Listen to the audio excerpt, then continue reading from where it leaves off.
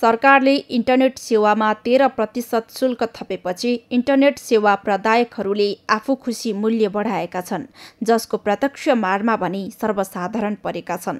पछिल्लो समय अधिकांश मानिसहरू सामाजिक सञ्जालमा रुमिएका छन्। गाउँ गाउँमा फ्री वाइफाई पुर्याउने प्रसङ्गले चर्चा पाइरहँदा इन्टरनेटको कर हत्तै बढेपछि समस्या निम्तिएको छ। बढाएर अलिकति अलिक त्यो साधारण मान्छेहरूलाई चाहिँ गाह्रै परेको छन् पैसा तिर्नु परिरहेछ बेसी अब तेह्र पर्सेन्ट भ्याट भनेको धेरै हो होइन? त्यही हो एक किसिमले ठिकै जस्तो पनि छ एक किसिमले नराम्रो पनि छ। यो चलिरहेको सुविधालाई होइन असुविधा बनाइदिए जस्तो भयो क्या। नेटबाट हामीले धेरै कुरा सिक्न पाइरहेको थियौँ होइन? न्यूनतम मूल्यमा। तर अहिले हत्या बढाइदिँदाखेरि चाहिँ हामीलाई धेरै असर परेको छ। नेपालमा इन्टरनेट बिक्री गर्ने आधिकारिक प्रमाणपत्र लिएका छयानब्बे कम्पनीमध्ये करिब चालिसवटा कम्पनी सक्रिय रूपमा इन्टरनेट वितरण गर्नेहरूको सूचीमा छन्।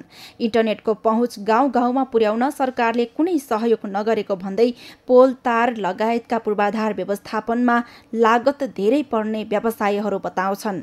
अनि नेपालमा इन्टरनेट महँगो हुनुको कारण अब यो महँगो भयो मात्रै भनेर भएन कि महँगो किन भयो? सरकारले ट्याक्स एक्स्ट्रा किन लगायो त्यो कुरालाई पनि हेर्नु पऱ्यो हाम्रो लागत खरिदमा भन्दा पनि व्यवस्थापनमा धेरै छ क्या। यस्तै कुराहरू व्यवस्थापनमा। घर घरमा त हामीले आफ्नो पूर्वाधारबाटै लगिरहेछौँ यता सञ्चार मन्त्रालय भने सेवा प्रदायकले सस्तोमा किनेर महँगोमा बेचेका कारणले उपभोक्ता मारमा पर्ने भएकाले त्यस्तो गर्ने कम्पनीलाई हस्तक्षेप गर्ने बताउँछ। मूल्य समायोजन नगरी तेह्र प्रतिशत कर बढ्यो भन्दै एकतर्फी रूपमा उपभोक्तालाई भार थोपर्ने कुरा मान्य नहुने मन्त्रालयको भनाइ छ। इन्टरनेट सेवा प्रदायकहरूले अन्तर्राष्ट्रिय बजार अनुसार मूल्य समायोजन गर्दा उपभोक्ताले अहिलेको भन्दा सस्तोमा सेवा पाउने मन्त्रालयको दावी छ। अन्तर्राष्ट्रिय मूल्य गिरावट आएको छ हाम्रोमा बढेको छ हाम्रोमा बढेको छ भन्नाले पनि घटेको चाहिँ कुरै नगर्ने। त्यसको बारेमा सबैका मुखमा पट्टी लाग्नुपर्ने।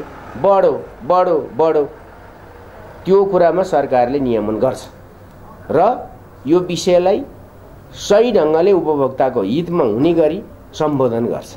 चार वर्ष अघिसम्म नेटवर्क सर्भिस प्रोभाइडरहरूले पचास डलरसम्म तिरेर ल्याएको इन्टरनेट ब्याटविथ आठदेखि दस डलरमा प्रति एमबिपिएस महिनाभरिका लागि लिने गरेका छन् तर मूल्यमा ठुलो गिरावट हुँदा पनि नेपालका सेवा प्रदायक कम्पनीहरूले उपभोक्तालाई पुरानै मूल्य लिँदै आएका छन्।